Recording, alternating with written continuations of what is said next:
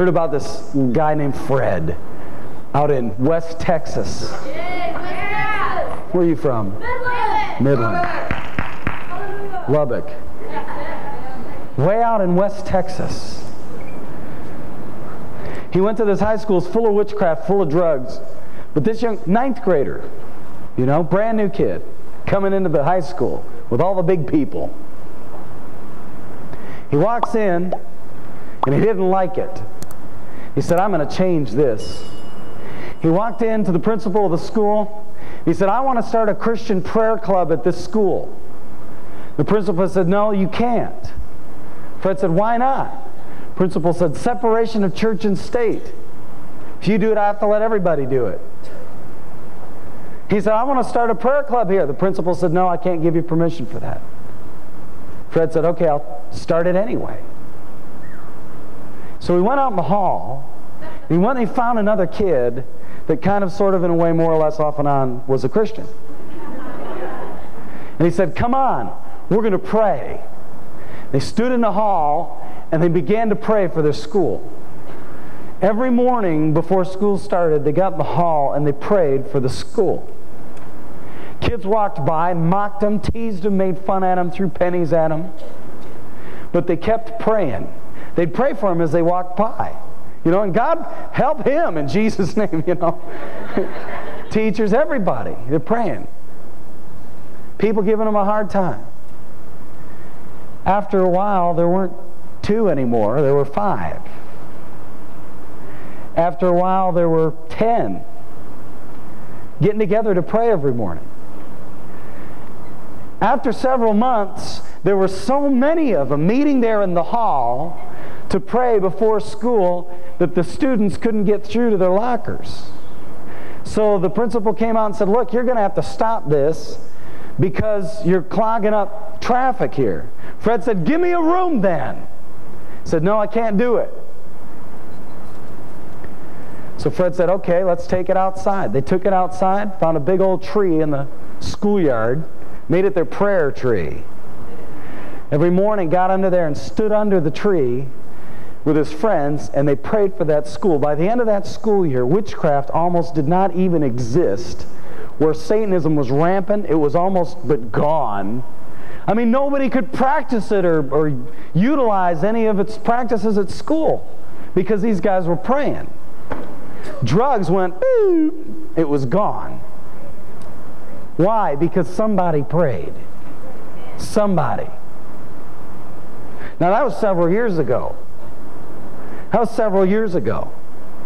Now they've got a thing, equal access, that was signed in as an act in 1984, is now backed up by the Supreme Court, and you as a student have the legal right to start a Bible prayer club on your campus, and no one can stop you. In fact, the only, the only reason that they could say no to you is if they knocked off every extracurricular club on campus and denied them access. That is the only way they can say that, that they can say no to you. Otherwise, they have to say yes. We've got a generation, you guys are so tired of sitting around watching everything, you want to do it. That's why when Ron Luce said, hey, let's take a Teen Mania trip to Russia, he had more people sign up for Russia, for the Russia trip, than all the other trips combined. Why? Because the young people of today are tired of sitting around. They want to get up and go. They want to go someplace. Now, once you get to where you're going, you got to do something. So get your Bible. We're going to show you what to do tonight. Matthew 28. Matthew chapter 28. I'm Going to show you what to do. Matthew 28. You got it?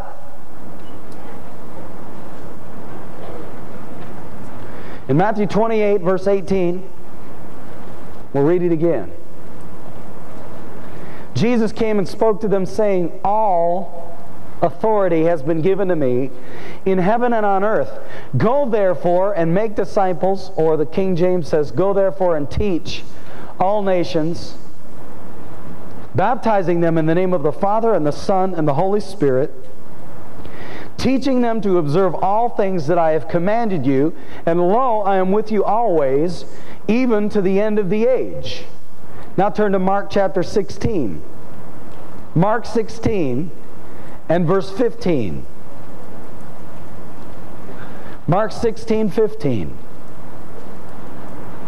Do you guys have enough light out there? Okay. Jesus is talking, and he said to them, Whoa, turn on the cross. Verse 15 Jesus said to them, Go into all the world and preach the gospel to every creature. He who believes and is baptized will be saved, but he who does not believe will be condemned. And these signs will follow those who believe. In my name they will cast out demons. They will speak with new tongues. They will take up serpents. And if they drink anything deadly, it will by no means hurt them. They will lay hands on the sick, and they will recover. That's you.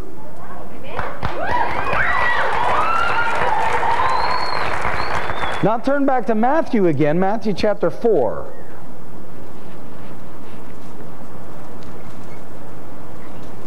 So you don't have to do any of this on your own.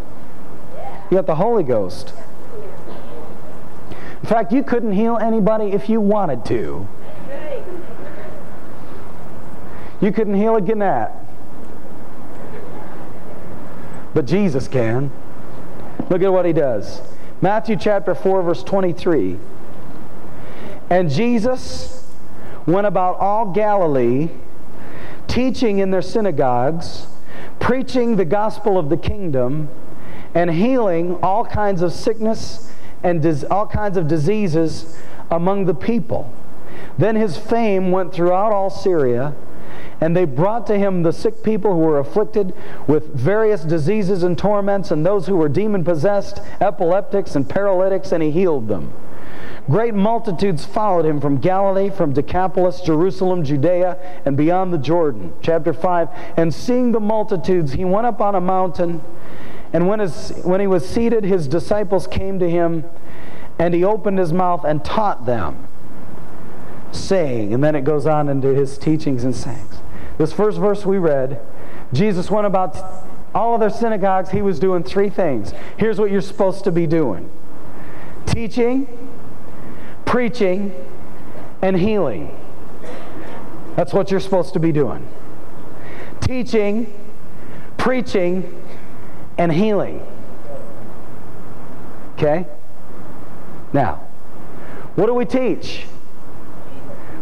Teach Jesus. We teach the Word. We teach all things. Matthew 28, teaching them all things that I have commanded you. If you could wrap up the teachings of Jesus in two phrases, it would be this Love God with all your heart, love your neighbor as yourself. He said, if you do these, you're fulfilling everything. You teach them. You take what you get taught and you go out and you teach it. Now, this word teaching, in Matthew chapter 28, when it says, Go and teach all nations, in my Bible, the New King James, it says, Go and make disciples of all nations. It, they both mean the same thing. That word teach means to make disciples. Now, let me talk to you about that for just a second. Making disciples. Now, I got to tell you what this is because I don't want you to go out there and not know. Make disciples. How do you make disciples? What that means is to duplicate yourself. Duplicate yourself. Take what you've got and put it in somebody else. Duplicate yourself. Every time you learn something new, teach it to somebody. Duplicate yourself. You say, I have no outlet. I have no opportunity. Create one. Find one. I like Bobby Bogart's testimony when he first got called to preach. He didn't have anyone to preach to, right? So he went out in the field next door and there were cows out there. So he'd preach at the cows. Stand up on a stump and preach to the cows. What was he doing? He's practicing, fulfilling his call. Teaching them, making disciples of them, teaching, get into the Word. I was in Arkansas. I was at a meeting. He gave an altar call at the end. This young man came forward and got saved, got born again. About a week later, he went to the youth pastor at the church there. See, this guy, he never knew anything about Jesus. His parents weren't saved. He came to the youth pastor. He said, I just got saved last week at, at a meeting with Spencer Nordyke. I just got born again. And I need to know what to do. What should I do? The youth pastor said, Well, you need to read the Bible. He said, Okay. Guy came back two weeks later. Came to the youth pastor and said, Well, I did it. Youth pastor said, Did what? He said, I, I did what you told me to do. You said to read the Bible. I read the Bible. Youth pastor looked at him and said, You read the whole thing? He said, Yeah, I went home like you said, and I read, I read the whole thing. He said, I didn't understand it all, but, you know, but uh, I'll get it. In two weeks, he read the whole Bible. In two weeks. Brand new Christian. Went and read the whole thing. He was tired of sitting around. He didn't have one at home. The youth pastor had to give him one. But he took it home and read the whole thing. Then you know what he did? He found a place that would let him have a Bible study. This guy had only been saved a month. He found a place where they would let him have a Bible study. He couldn't have it at home. His parents weren't saved. So he found a place where they said, okay, yeah, sure, you can have a Bible study. And he started a Bible study. Say, what did he teach them? Well, they would just open up the Bible, they'd read something, they'd talk about it, and then they'd pray. Had a Bible study. People were getting saved left and right. Episcopalian, Lutheran, Catholic, everybody was getting saved. Came to this Bible study. Well, you know, I'm a Christian. I'll come to the Bible study. This guy, man, he was fresh. Talk about hot off the grill. This dude was fresh.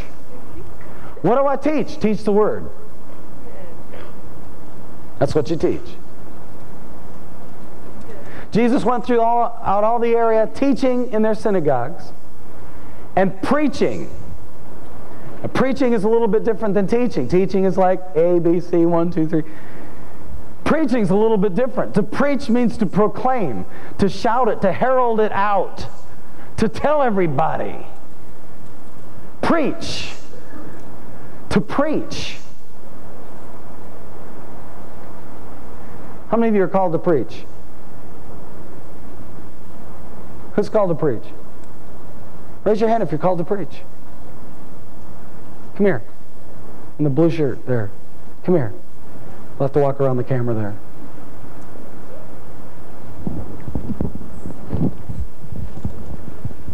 You've got one minute. Preach. In the name of Jesus, you must be saved, born again, and filled with the Spirit. Hallelujah.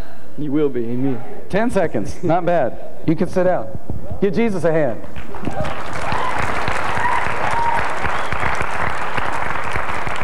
Ten second preaching.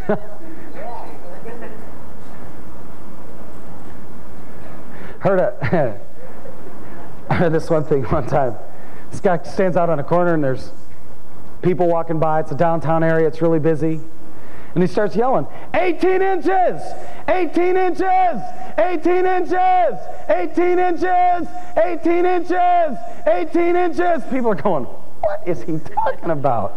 They start coming up, standing around. What? I mean, he's just going crazy. 18 inches. When he gets a crowd, they all get to get, you know, it's like, looking at him. He goes, 18 inches between your brain and your heart and Jesus wants to get into your heart, when are you going to figure it out? 18 inches keeps people from heaven. Got an idea. He preached. Some people don't take a whole lot to preach. Just one little idea. Look at Luke chapter 4. Luke chapter 4.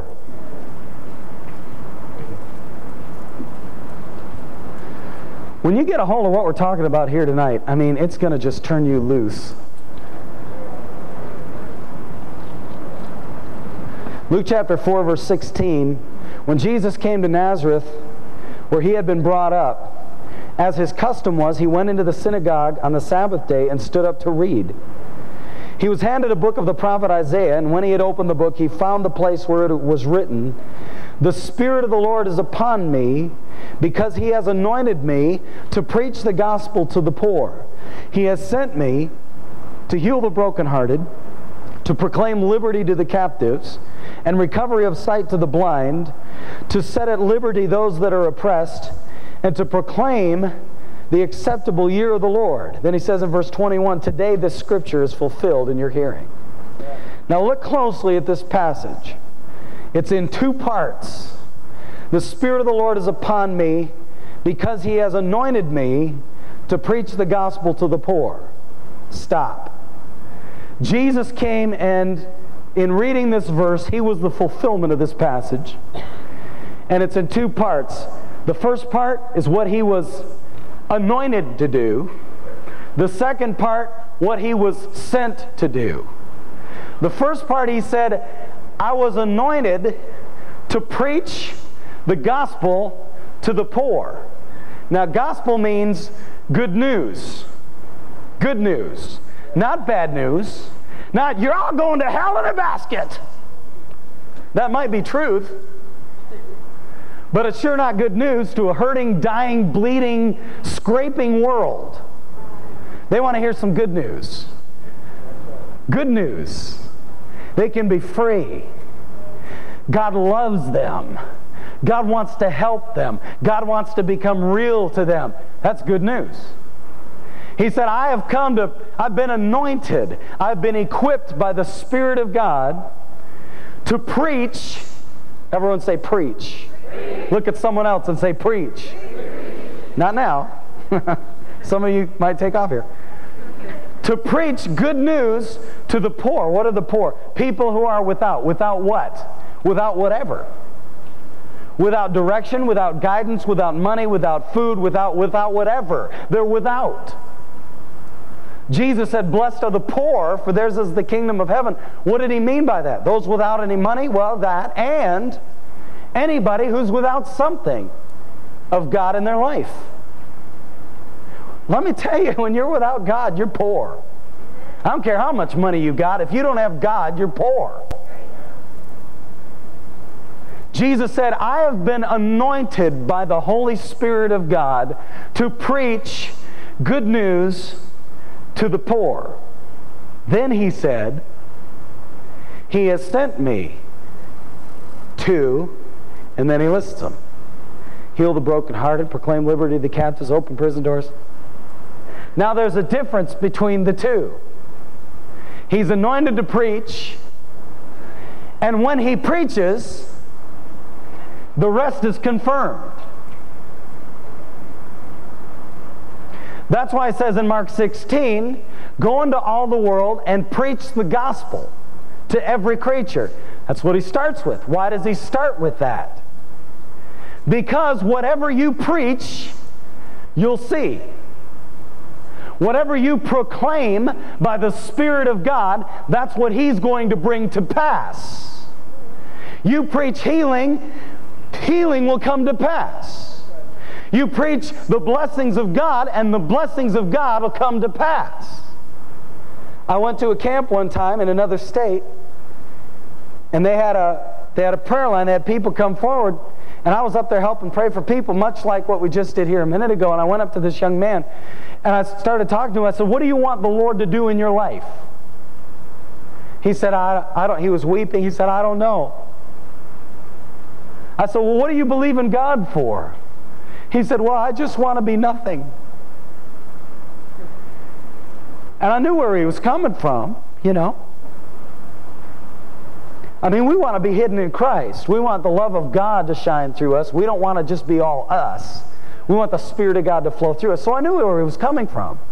But the more I talked to him, the more nothingness came out. And I realized that he was part of a program where they preached that you've got to be nothing, just be nothing and nothing and nothing. And you know what they'll get as a result of that kind of preaching? Nothing. nothing. Here's the good news you are something. Not in yourself, but the closer you get to Him, the more you become like Him. And then you're really something. And if we go around continuously thinking of ourselves, oh, I've got to get out of the way. Oh, I can't be. Oh, I've got to move. Oh, I've got to be nothing. Oh, you know what you're thinking about the whole time? You. But when you're thinking about Him, and you're concentrating on Him, and you're looking to Him, and you're trusting in Him, you know what you're going to be like? Yeah. Him. You get what you preach. The results that happen as a result of what you preach and teach by the anointing of the Spirit of God are in direct relation to one another. You preach healing, you'll see healing. You preach blessings, you'll get blessing. You preach good news, you'll get good news. You preach bad news, you'll get bad news. Bottom line. Do you know why Jesus saw so many good things happening all around him? Because he came preaching good news. Let me shatter a myth for you here for just a second. Jesus Christ was not spooky. You see these old movies of Jesus, and he, he's floating about two inches off of the ground, kind of in and out of the rooms, and you got this music playing in the background, and there's this little light. I don't know where does this silly light come from. This little light is on his eyeballs right here, you know? Just from somewhere, I don't know. You know? It's Jesus, come heal my daughter. So he comes in and he kind of floats into the room, and here's this little girl laying there dead, and he walks in, and the angels from somewhere are singing, you know. And Jesus walks up, and here's this light on his face, and he's going, and he talks, and it's in an echo. Little girl, girl, girl, arise, rise, rise, rise. And he reaches out and takes her hand, and, she's, and she rises up. That's not how it happened. It's not. Jesus walked up to the house. Everyone was crying. Oh, she was so young. Ah. Jesus says, Why are you crying? She's not dead, she's asleep. And they started to laugh at him. Now, how sincere were these people? I mean, to go from one to the other just like that, give me a break. Come on. So he kicked them all out. He said, Get out of here. You're not helping the situation at all. You're not bringing any good news. Leave the premises. He takes Peter, James, and John, mom and dad, and they go into the room. And Jesus walks up to the little girl, reaches out his hand, and says something also spiritual. He goes, Get up.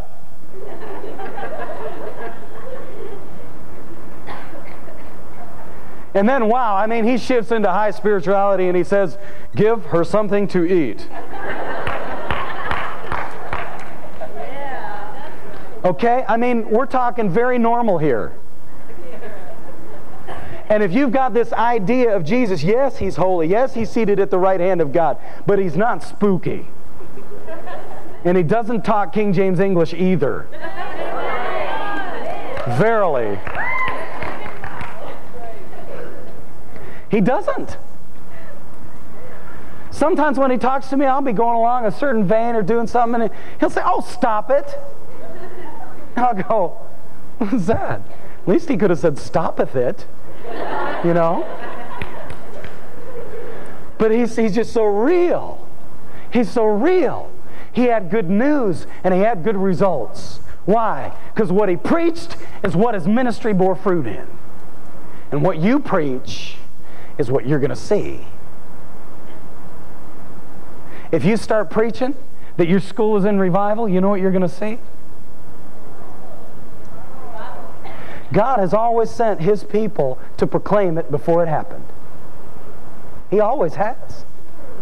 And 2,000 years ago, God poured out his spirit on all flesh, and God's not, you know, someone who gives something and then takes it back.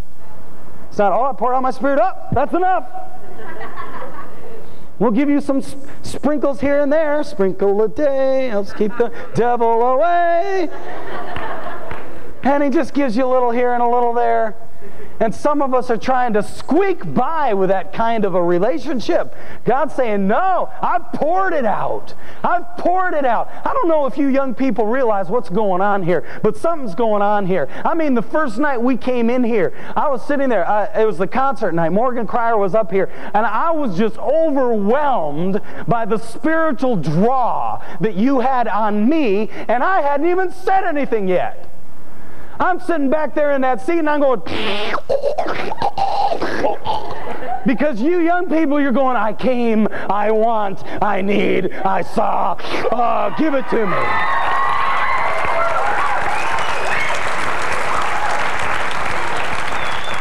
I mean, the first night after I preached, first night after I preached, we're walking back to the apartment room, and uh, Cyndy goes, Spencer, you want me to carry you? Because I was walking like this. Why? Because you guys just drained me. He just took it all. We're not waiting for revival, we're in it. We're not waiting for the Holy Ghost to move, we're in the move of the Holy Ghost. What you preach, you will get.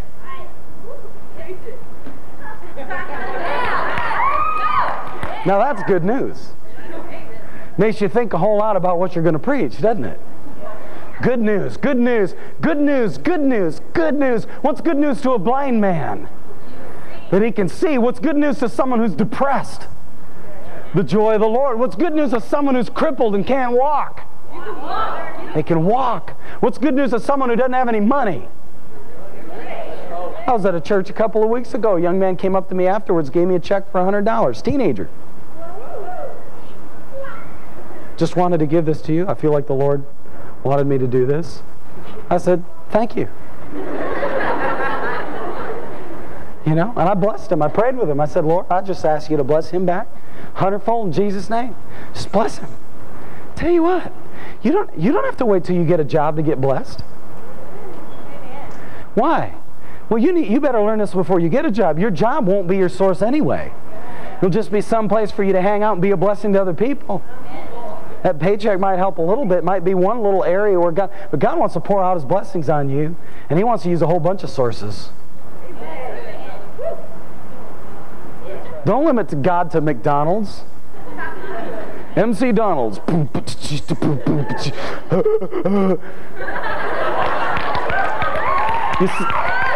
you know, stretch yourself out and say, God, how many avenues do you want to bless me through?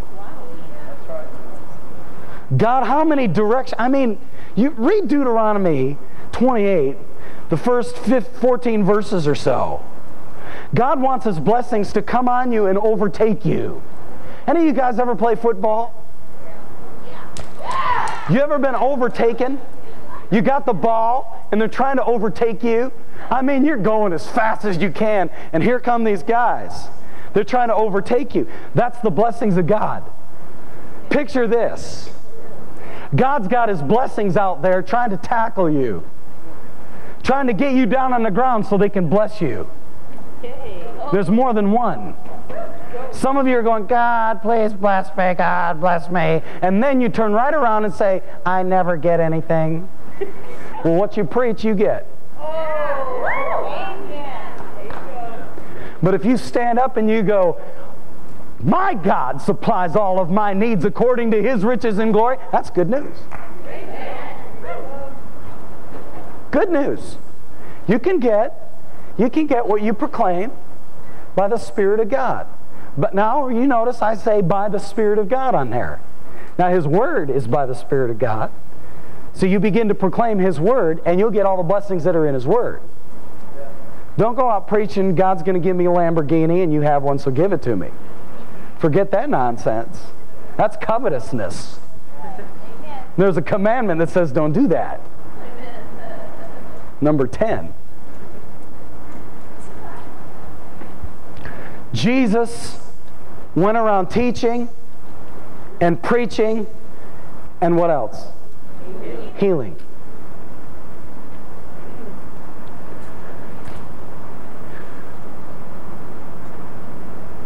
You have resident on the inside of you the ability by the Spirit of God to lay hands on the sick and to see them recover. It's in you. It's inside of you. It's in there. God wants it to come out. If you're becoming more and more like Jesus every day, you're going to see His power flowing through you more and more every day. In Mark 16, it says, These signs follow them that believe. My name they'll cast out devils, they'll speak with new tongues. Nothing deadly can hurt them. They'll lay hands on the sick and they'll recover. These signs follow them that believe. Them that believe what? Them that believe in Jesus? No. Because there's a lot of people who believe in Jesus who never see any of these signs. What does it mean then? These signs follow those who believe that these signs will follow them. Do I need to do that again? These signs, casting out devils, speaking with new tongues, nothing deadly hurting you, laying hands on the sick and seeing them recover, these signs will follow them that believe that these signs will follow them. If you believe that you can cast out devils, you will. If you believe, I mean, a bunch of you spoke in tongues last night. Why? Faith entered into your heart and you believed it. You did it. Hallelujah. If you believe nothing deadly will hurt you, nothing deadly can hurt you. There was a guy over in the Soviet Union behind the Iron Curtain and communism when all that stuff was going on. He was a Christian. He was being persecuted for his faith. They brought him before the judge. The judge said, You're a Christian? Man said, Yes, I am. Said, Do you believe this book called the Bible? Said, Yes, I do. The judge said, Do you believe this part where it says, Nothing deadly shall hurt you? He said, If it's in the Bible, I believe it. He said, Okay, if you believe it, then you'll take hold of these two live wires with electricity pulsing through them. They brought out these two, I don't know what the voltage was in it, but enough to kill you. They brought out these two wires. He said, if you believe this, if you're a Christian and you believe this, grab these wires. The guy said, okay, in Jesus' name. Remember it says, in my name, you'll cast out devils? Don't try doing stuff without his name. and don't try doing stuff in his name if you don't know him. He said, okay, in Jesus' name. He grabbed the two wires, he blacked out the city. now wait. When the lights came back on, they had to, you know, it took a while to get the lights back on because Russia, it's a whole different situation. If the lights go out, it's a big deal to get everything going back again. They said, well, that was just coincidence. That's what the judge said. That was just coincidence. You know, if someone doesn't want to believe, they're not going to. You can preach the gospel to them and, and let faith do its work, but if they're not going to let it in, it's not going to go in. God doesn't want us to get everyone saved. God wants us to go preach the gospel. He didn't say go save everybody. He said go preach. And some will believe and some won't. Concentrate on the ones who believe. Make them disciples. He said that was just coincidence. If you're really a Christian, do it again. He said, okay, in Jesus' name. And blacked out the city again. They let him go. That was smart. Before he laid hands on them. If you believe that nothing deadly will hurt you, nothing deadly can hurt you. If you believe that. If you believe that you can lay hands on the sick and they'll recover, it'll work. I was doing a camp in California. About 300 young people there. Service one night, we were just having some testimonies, and all of a sudden it turned into a healing meeting. I mean, it was wild. I had people come forward, they had back problems. A bunch of kids had back problems. I don't know, climbing mountains or something, California. So they came forward. We started praying for them. And this nurse in the back, this lady, she's uh, one of the counselors. She was a nurse. She was in the back. She got mad. She said, Man, they're not praying for me. And while we were praying for people, back there in the back, the Spirit of God healed her. And she knew it. She was a nurse. She knew about this stuff. Healed her. She got excited. She came up to the front and testified about it, told what, you know, we overcome the devil by the blood of the Lamb and By the word of our testimony. What is the word of your testimony? What God's done for you. So she came forward and testified. She said, Here's what God's done for me. He healed my back. I was back there, I was complaining. I was griping at God. In the midst of my misery, He healed me. So she's up there checking young people. So there were young people there with twisted spine and lupus and all kinds of stuff. And they were getting healed left and right. I mean, it was wild. It was awesome. I was having a blast. This young girl comes up, 16 year old girl comes up, had a sweatsuit on. She's just crying. She's just tears running down her face.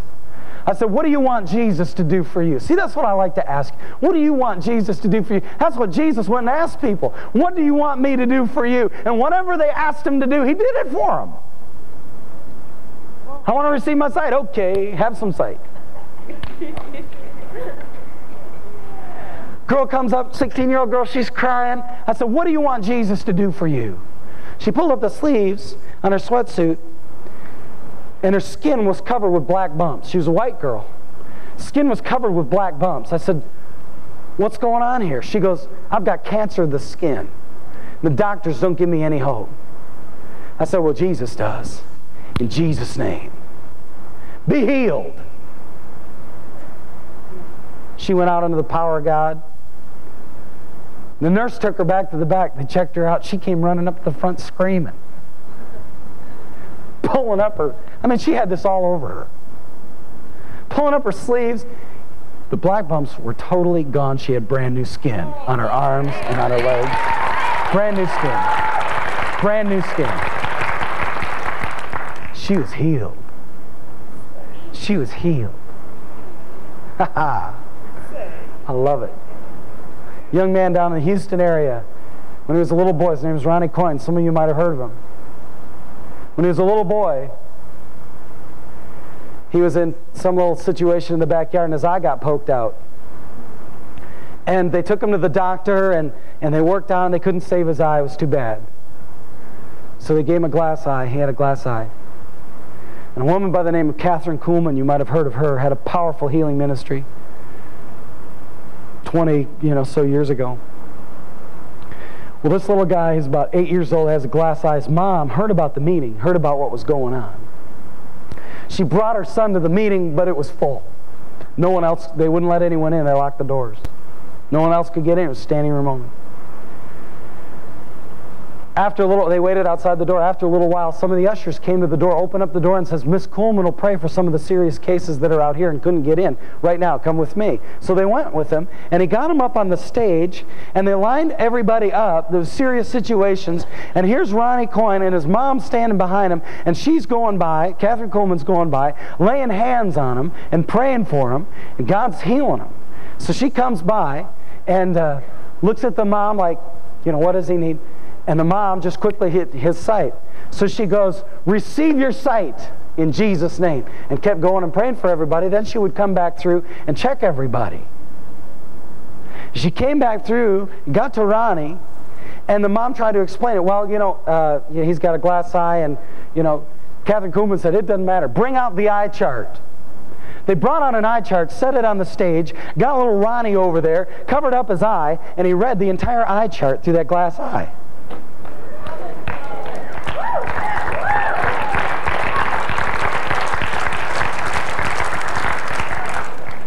But they didn't stop there. She said, Take out the eye. I mean, if you have a glass eye, you can take it out and you can clean it and, you know, Windex, I don't know. So they took out the glass eye. They, Ronnie covered up his eye and he read the chart again through an empty socket. How could he do that? She didn't pray for God to give him a new eye. She prayed for God to give him sight.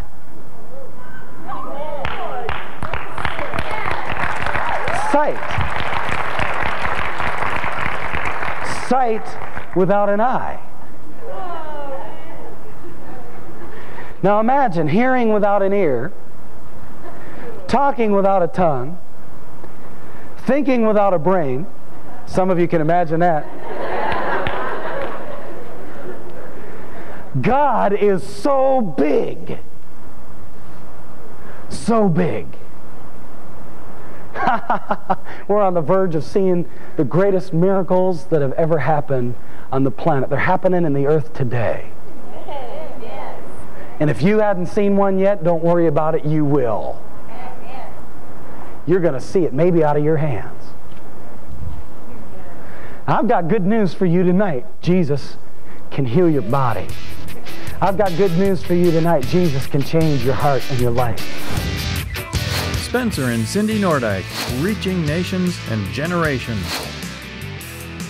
For more information, visit nordykeministries.com.